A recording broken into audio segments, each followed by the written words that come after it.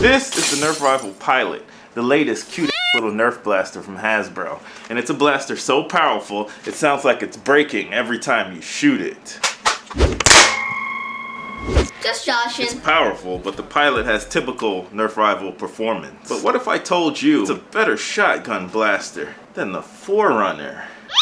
Because it is. Yup, it's better. You suck! This little blaster is basically a Nerf Rival Jolt, the standard that every blaster is held up to. except it's break action and breech loaded. Oh, and it can do a pretty effective shotgun blast.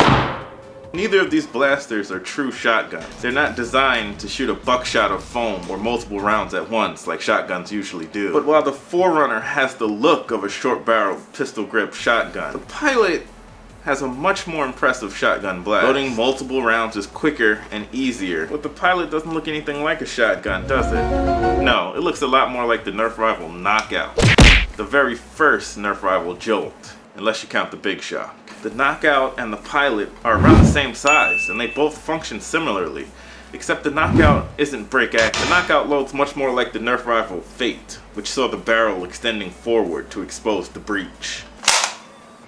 That's cool and all. But the Nerf Rival Pilot is just a lot more fun to use than those other blasters. Break action is an absolute blast to use, and using the Pilot actually reminds me of the old Zombie Strike Sledgefire, which is a favorite of mine. Like I said before, the Pilot has average Rival performance, much in line with the other blasters in the Rival series.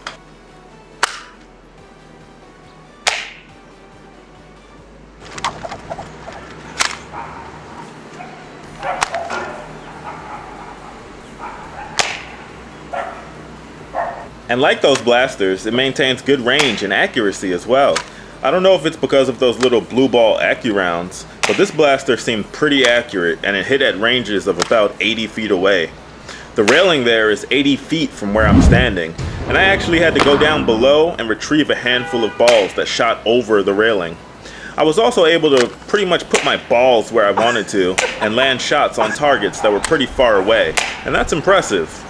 As Coop would say, I didn't experience any jams or malfunctions when shooting the pilot, but when overloading it with three rounds, there was a time when it only shot two, and the third round stayed in the barrel. I just reprimed it and the third ball shot out just fine.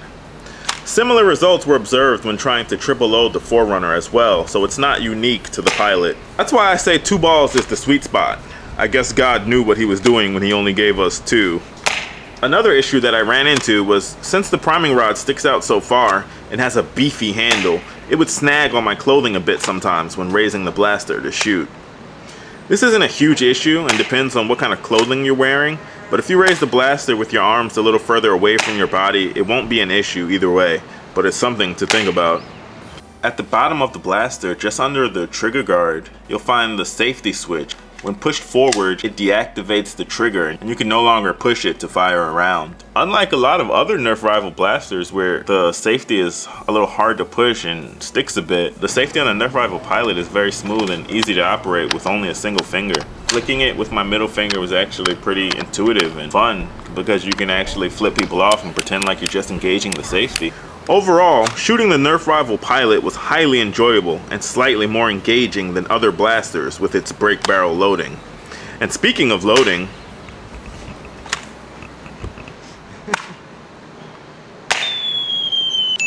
once you get the hang of the operation of this blaster, loading becomes a breeze. It's pretty simple and you'll be able to do it more and more quickly the more you do it. Loading one or even two or three rounds at a time will become second nature. Pull down the T-style priming rod on the bottom of the grip and once it's all the way down, the barrel will break open, leaving an exposed breech just ripe for the picking.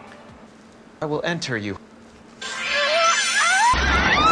Once loading is complete, tilt the barrel up and push it in slightly. If you're a brute like me though, and you push it up hard enough, you won't have to worry about pushing it back in.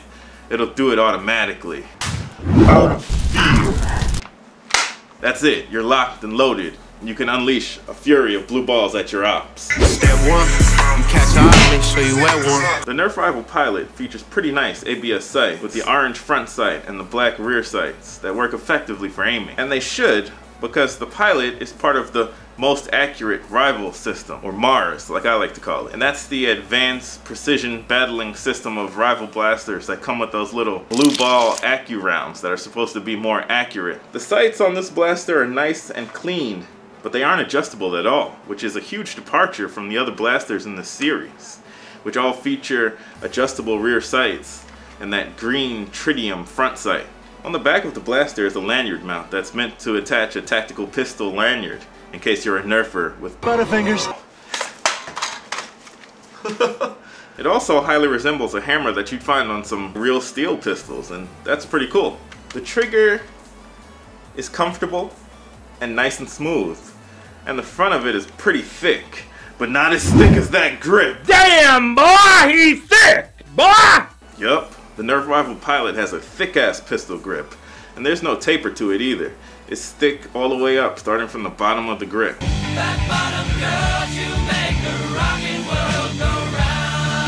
Speaking of the bottom of the grip, that's where you'll find the T-style priming rod that I spoke about earlier, and it's used for, you guessed it, priming the blaster. The size of the priming rod handle is pretty beefy itself and makes priming the blaster much more efficient. You're never gonna miss that grip. So the Nerf Rival Pilot is a fun little blaster with a thick grip and a break action that makes shooting it highly enjoyable. The break barrel action of the Pilot makes shotgun loading very quick and easy to do, unlike with similar blasters like the Knockout or even blasters that resemble actual shotguns like the Forerunner. Overall, the Pilot is a blast, and if you like what you've seen here, I say go for it. The Nerf Rival Pilot is pretty fairly priced, and I think it's well worth the purchase. If you're interested, purchase links will be down in the description below, so be sure to check that out. And that is where today's video ends. If you made it to this point, let me know your thoughts on the Nerf Rival Pilot Blaster down below. Have you modded it yet? I hope you enjoyed the video, and if you did, be sure to leave a like. It'll help out tremendously. If you didn't like it though, press F5 on your keyboard and watch the video again. Maybe you'll like it better the second time around. And I know I kept referencing the Forerunner and how the Pilot is a better shotgun blaster than it, but the Forerunner is not a bad blaster at all. It does do some things better than the Pilot, so click on the video here to see the full Nerf Rival Forerunner review. With that said, my name's Blee, you just been tagged out. I love yo foam heads and I'll see you in the next one.